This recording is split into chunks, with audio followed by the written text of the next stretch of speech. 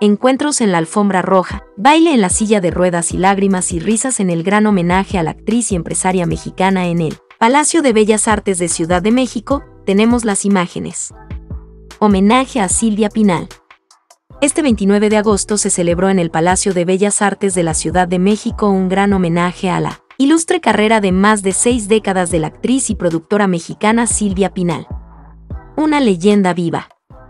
Rodeada de sus hijas, amigos, colegas del medio y más, la musa de Luis Buñuel y gran figura de la época de oro del cine mexicano apareció elegantemente vestida, y ni la silla de ruedas en la que fue transportada impidió que intentara bailar sentada durante la ceremonia.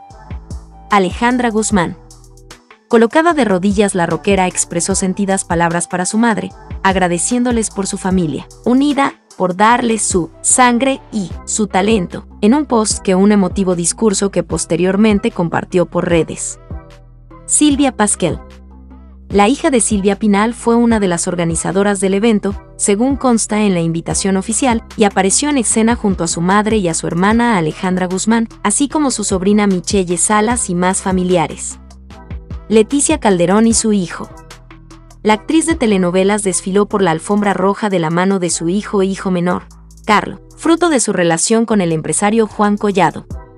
Por cierto que ahí mismo desfiló Yadira Carrillo, actual mujer del encarcelado empresario, provocando momento de tensión. Yadira Carrillo. La actriz y esposa de Juan Collado desfilando ante el mural con la estampa de la homenajeada. Itatí Cantoral.